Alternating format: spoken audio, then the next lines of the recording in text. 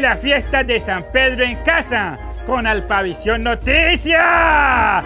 Son 60 años de tradición, de cultura, de folclor, de rajaleña.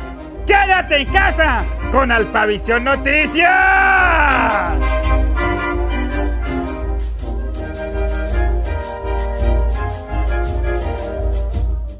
Bienvenidos a una nueva emisión de Alpavisión Noticias, la verdadera opinión.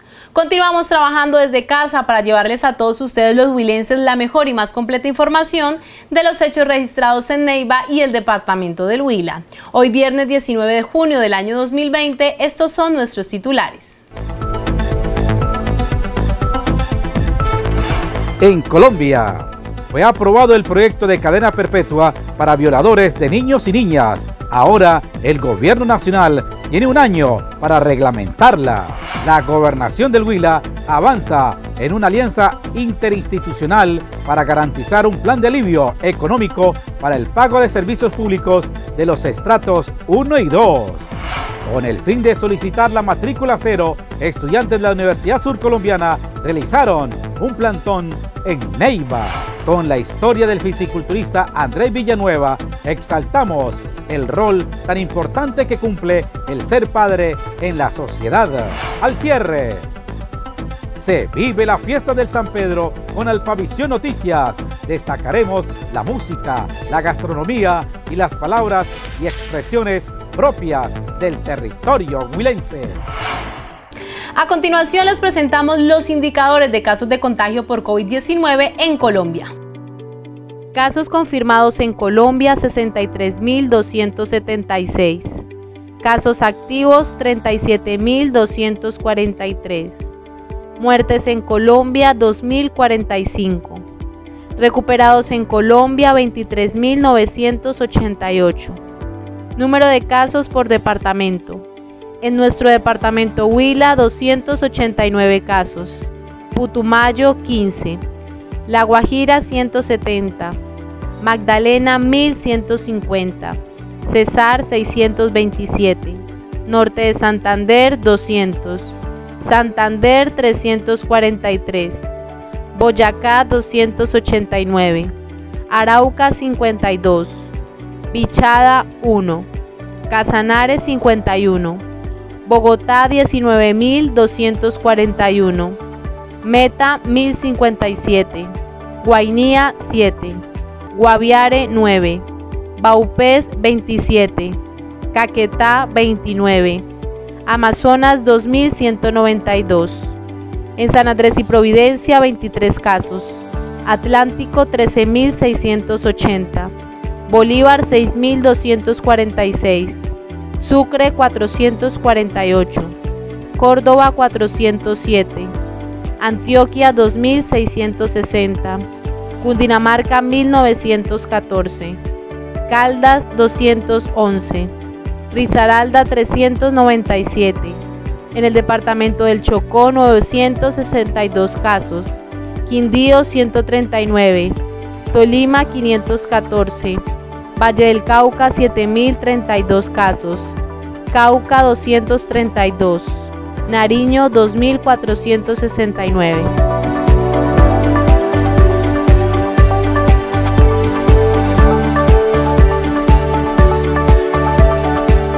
Hoy se llevó a cabo el primer Día Nacional sin IVA. En Neiva se presentaron masivas aglomeraciones de personas, tanto para ingresar como en el establecimiento. Es importante que el Gobierno Nacional y las administraciones locales tomen medidas, ya que hoy no se evidenció el debido distanciamiento social para evitar el contagio del COVID-19. El Congreso aprobó cadena perpetua para violadores de niños, niñas y adolescentes en Colombia. Ahora, el Gobierno Nacional tendrá un año para reglamentarla. Este jueves 18 de junio, la plenaria del Senado, en último debate, aprobó con 77 votos por el sí y 0 por el no el proyecto que reforma el artículo 34 de la Constitución Política para condenar a prisión perpetua revisable a los violadores y asesinos de niños. Después de una amplia discusión democrática en el Congreso de la República, con recusaciones, con pérdida de investidura hemos aprobado el proyecto de acto legislativo que modifica el artículo 34 de la Constitución Política. Hacemos un homenaje a la senadora Gilma Jiménez. Es un día histórico. Le estamos cumpliendo a las familias y a los niños. Ellos necesitan una verdadera política integral que garantice su vida y su dignidad. Estamos respondiéndole al clamor de los ciudadanos, al acceso de la justicia y duras penas para los violadores de niños. Ahora el gobierno nacional tendrá un año para reglamentar la aplicación de la cadena perpetua en el país. Gobierno de Huila lidera con alcaldes plan de alivio económico para el pago de los servicios públicos en los estratos 1 y 2. La inversión supera los 11 mil millones de pesos. Ante el impacto de la pandemia en la economía de los huilenses, la gobernación y los alcaldes de la región se unen en el pago del mínimo vital de subsistencia de los servicios públicos domiciliarios, es decir, del agua, el gas y la energía eléctrica para los hogares de los estratos 1 y 2. Muy importante este esfuerzo que estamos haciendo todos los municipios del departamento de Huila y la gobernación. Un trabajo mancomunado, hecho municipio por municipio de filigrana eh, con la alcaldía de Neiva y las empresas públicas de Neiva, con los 36 restantes municipios y sus empresas de servicios públicos, con Aguas del Huila, con la electrificadora del Huila, con Surgas, con Alcanos. Hicimos una distribución inicial de recursos de cerca de 6 mil millones de pesos de la gobernación, recursos de regalías, y en ese trabajo con los demás municipios logramos juntar casi 6 mil millones más. Son más de 11 mil millones de pesos que entre todos le vamos a llegar a la población más vulnerable, de alguna manera aliviando su situación en los recibos de servicios públicos. En cuanto al agua potable y el saneamiento, se benefician más de 186 mil suscriptores. En Neiva, el aporte de la gobernación del Huila fue de más de 1.981 millones de pesos para dos meses del mínimo vital de este importante líquido. Un convenio que va a favorecer a cerca de 86 mil neivanos de estratos 1 y 2 en la prestación y la solidaridad de, del pago del servicio de acueducto de estratos 1 y 2 por tres meses. Sería esos tres meses. Ya establecimos eh, aquí el convenio, estamos en esto y agradecidos por la solidaridad que nos ha prestado el señor gobernador. El alivio del mínimo vital tendrá aplicación a partir de la firma del convenio y según el ciclo de facturación que esté aplicando la empresa. Estudiantes de la Universidad Surcolombiana realizaron un plantón en la ciudad de Neiva con el objetivo de que se apruebe la matrícula cero para el segundo semestre del año 2020 y el primer semestre del año 2021. Hasta la Plaza Cívica en Neiva llegaron los estudiantes de la Universidad Surcolombiana para realizar un plantón con el fin de hacer un llamado a las administraciones locales para que apoyen el financiamiento de la matrícula y de esta forma los alumnos puedan continuar con sus estudios. Estamos desarrollando un plantón los y las estudiantes de la Universidad Surcolombiana con el propósito de plantearle a los gobiernos territoriales del departamento, a la gobernación y a las alcaldías municipales que nos apoyen con la financiación de la matrícula cero para el semestre 2020 2022 y 2021-1 en la Universidad Surcolombiana y que adicionalmente la propuesta de matrícula cero sea de carácter universal para todos los y las estudiantes de la universidad independientemente del estrato socioeconómico. En estos momentos se ha estimado que aproximadamente el 40% de los estudiantes van a desertar en los próximos semestres por la situación económica en la que nos encontramos a nivel mundial y que pues nosotros consideramos que es un imperativo que los diferentes gobiernos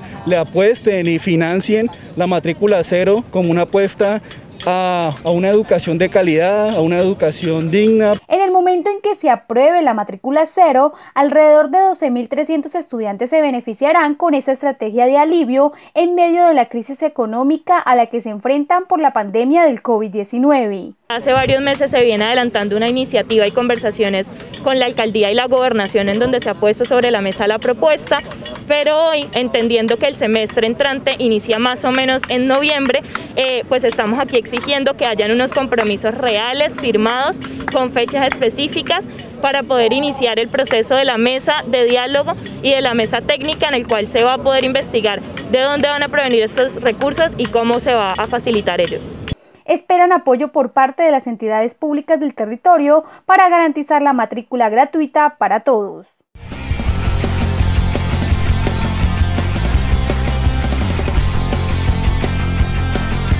Este domingo se conmemora el Día del Padre, por esta razón exaltamos el papel tan importante que cumplen en la familia con la historia del fisicoculturista Andrés Villanueva, más conocido como Hulk, un superpapá que le enseña a sus tres hijos valores importantes para poder ganar todas las batallas de la vida.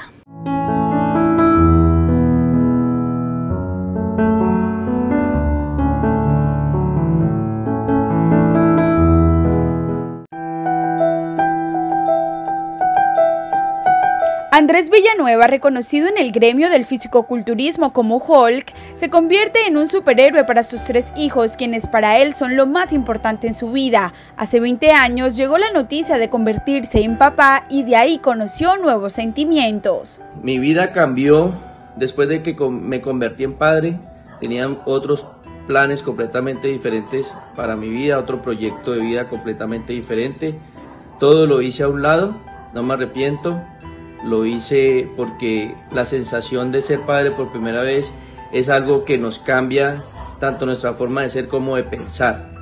Eh, nos lleva eh, a buscar alternativas para forjarle a este hijo que llega por primera vez un futuro, un buen futuro, un buen apoyo como padre y una compañía. Para él, los valores son fundamentales en la crianza de sus hijos, pues considera que es el pilar para que tomen decisiones acertadas a lo largo de sus vidas. Como ejemplo para mis hijos, no solamente en el deporte, sino en cualquier actividad profesional o personal que ellos deseen realizar en sus vidas, siempre les he planteado una frase que me, que me caracteriza y es, las cosas se hacen bien o no se hacen no importa lo que quieran ser, deportistas o profesionales en cualquier ámbito, pero que sean los mejores profesionales y actúen con honestidad y con rectitud.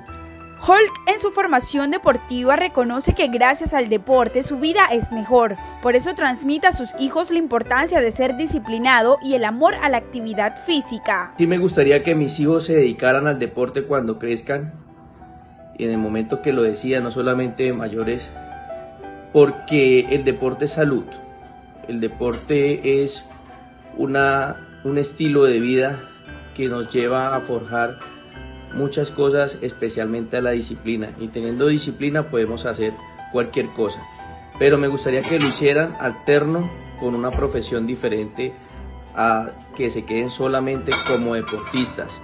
Los padres deportistas reconocen que la vida sana, la disciplina, responsabilidad y pasión son aspectos que desde el deporte pueden compartir con sus hijos y ser ejemplo en la crianza. Sin duda, para ellos el mejor título y medalla de oro es ser papá.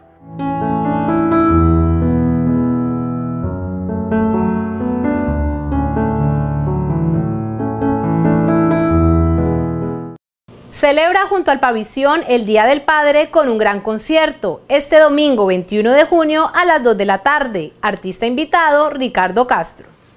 Recuerden visitar nuestra página web www.alpavision.com.co y allí encontrarán las emisiones oficiales de Alpavisión Noticias, información institucional de interés, soporte técnico y servicios comerciales. No olviden también seguirnos a través de nuestra fanpage como Alpavisión Noticias Neiva. Hacemos una breve pausa comercial y ya regresamos con más información.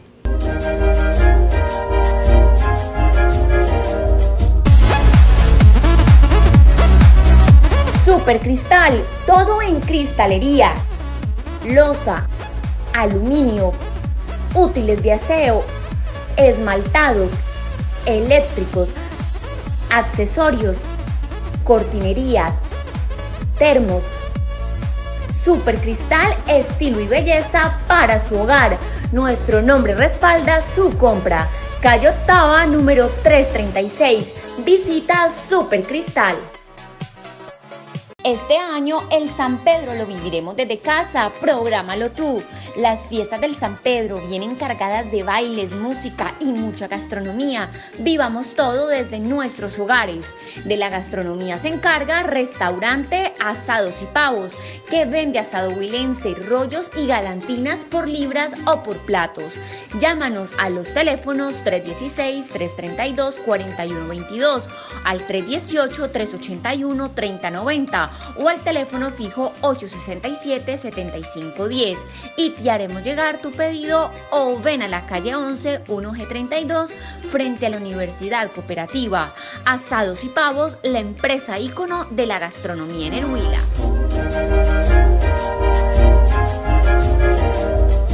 Recuerda que este sábado 20 de junio a las 4 de la tarde se realizará el lanzamiento de Alpa Music, el nuevo programa del Canal 2 de Alpavisión. No se lo pueden perder. Y a partir de este momento vivirán las fiestas del San Pedro en casa a cargo de Wendy Vaquero. Nos vemos en nuestra próxima emisión. Feliz fin de semana para todos.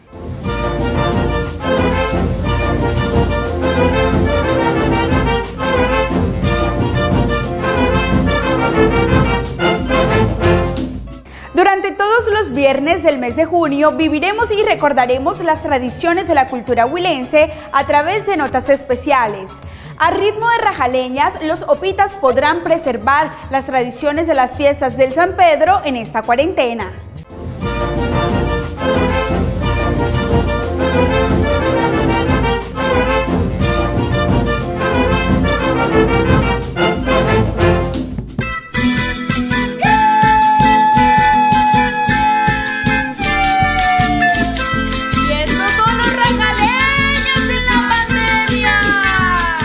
De Rajaleñas, la agrupación folclórica Cantar Huilense se prepara para celebrar las fiestas del San Pedro en familia y desde sus hogares, pues la pandemia no es un impedimento para preservar las tradiciones opitas. Sabemos que es un compromiso muy grande el rescate de, de nuestra música y también tenemos conciencia de que el rajaleña es el ritmo que nos identifica ante el mundo.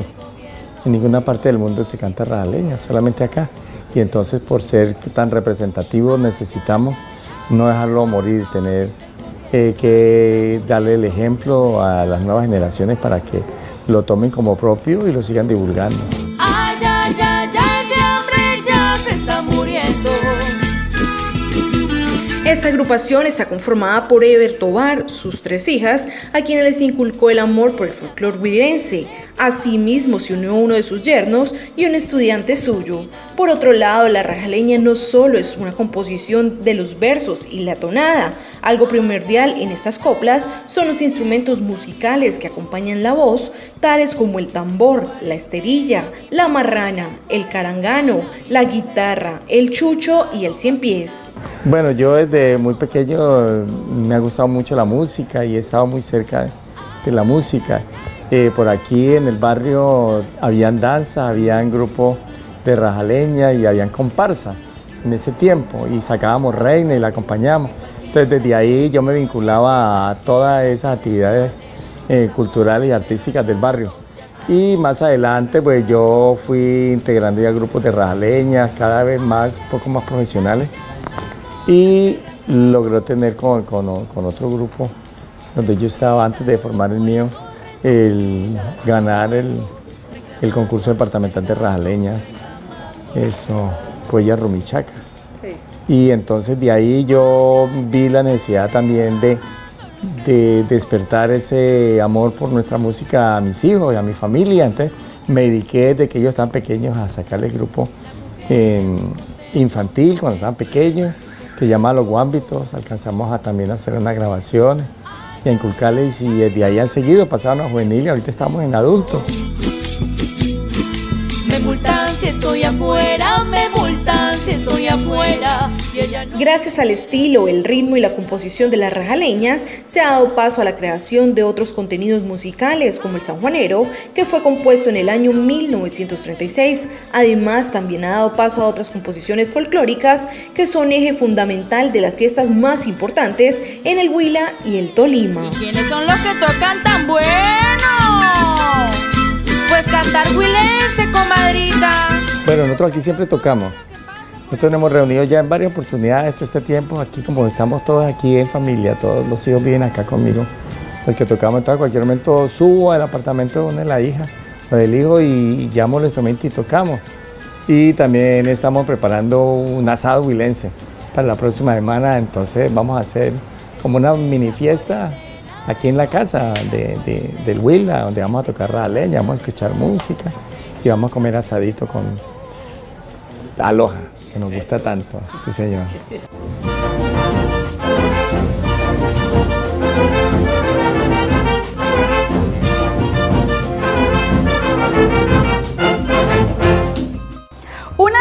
riquezas del departamento del Huila son las delicias gastronómicas. El asado huilense es el plato típico y especial en las fiestas del San Pedro.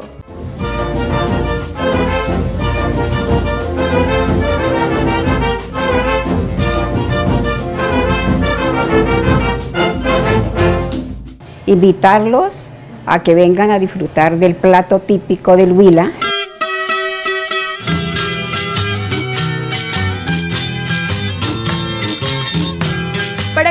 el paladar de propios y visitantes durante las festividades del San Pedro, sin duda el plato predilecto es el asado huilense, el cual resulta ser una explosión de sabor gracias a los alimentos que lo conforman.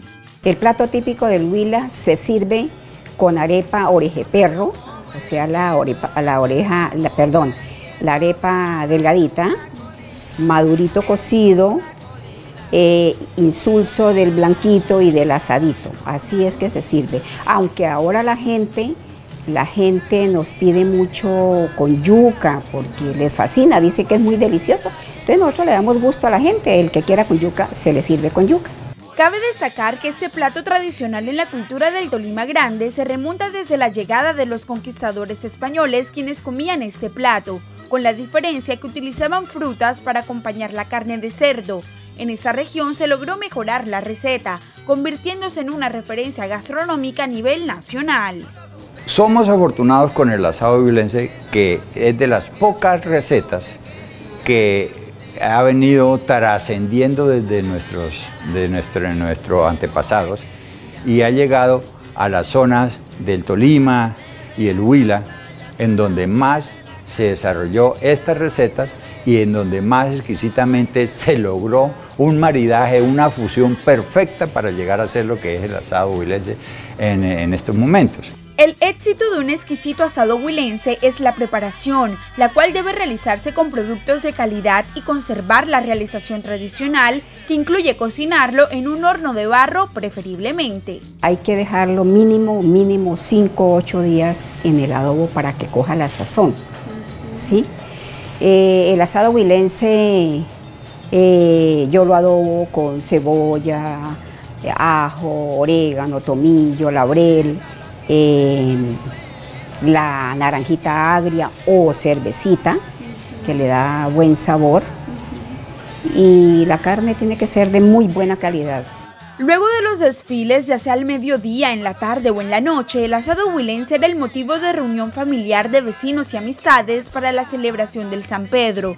Sin embargo, el panorama cambió este año, pero eso no debe impedir el servido de asado huilense en la mesa de los opitas. El asado huilense no puede faltar en ninguna festividad sanpedrina porque no sería San Pedro. Sin duda el asado huilense, la chicha, los bizcochos de achira, el quesillo y entre otras delicias convierten al departamento en un referente gastronómico en el país, el cual la tradición y la cultura van en cada plato.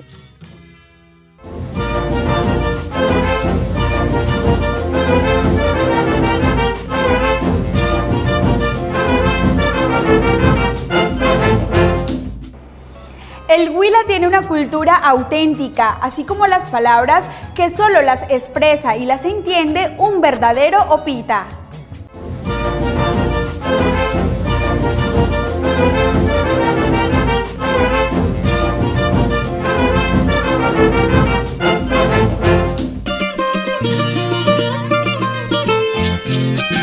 Las palabras o expresiones presentadas hacen parte de la cultura e idiosincrasia huilense. Algunas siguen siendo utilizadas con el mismo significado. Empecemos. Arremuescos, utensilios básicos del campesino. Buen primor, expresión que acompaña un sentimiento de alegría o de tristeza. Cahuinga, cuchara de madera que se emplea para evitar que se peguen los dulces y coladas. Guipa, niños y niñas. Jartadera significa comida. Pelapinga significa aguardiente. Surumba significa agua de panela. Tantico, expresión que significa un momento. Zancas son las piernas de las personas. Estas y muchas más hacen parte del vocabulario de un 100% opita, palabras y expresiones que enorgullecen a los huilenses.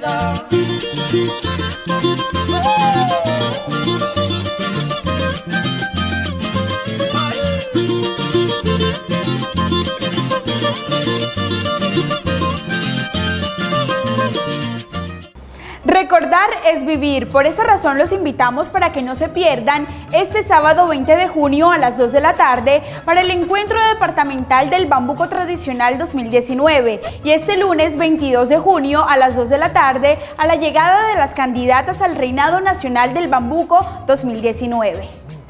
Recuerda que somos el único canal de televisión por cable en Neiva. Y hasta aquí llega toda la información de Vive las Fiestas en Casa con el Pavisión Noticias.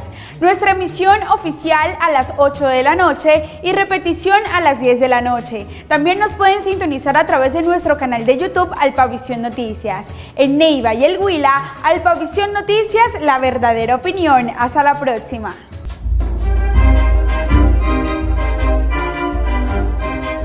¡Ole! ¡Vive la fiesta de San Pedro en casa! Con Alpavisión Noticias. Son 60 años de tradición, de cultura, de folclor, de rajaleña. Quédate en casa con Alpavisión Noticias.